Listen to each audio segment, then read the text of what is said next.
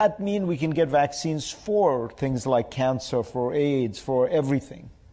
Uh, not immediately, but the dream is yes. The a lot of the funding for these mRNA companies is uh, for cancer-related vaccines, and part of the beauty is that even if the thing you're trying to attack in the cancer, you know, only a small number of people have it, it's so easy to to change the instructions in the vaccine, you don't have to build a whole new factory and right. verify the factory. You just type those numbers in, and hopefully the regulator sees, oh, you're just doing this small thing. Go ahead, particularly for cancer, where the outcome, if you don't treat the patient, is very mm-hmm. poor. It's not healthy people that you're treating. And so when people look at uh, the three mRNA companies, CureVac, Moderna, BioNTech, that, that can, they each have cancer groups uh, that you know, they're excited about. They can also make uh, medicines that have been expensive, protein medicines like growth factors, and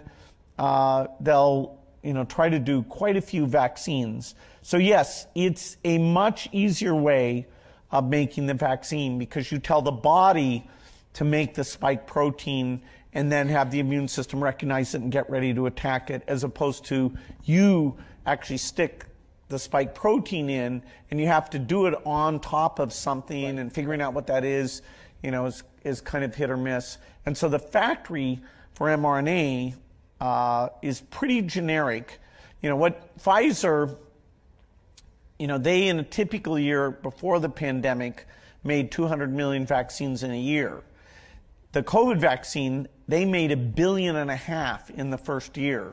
Um, and so the scale up of that manufacturing. And as they did that, their cost per unit, right. you know, it starts at like 60 and is probably, they don't like to say, but probably below $5 at this point.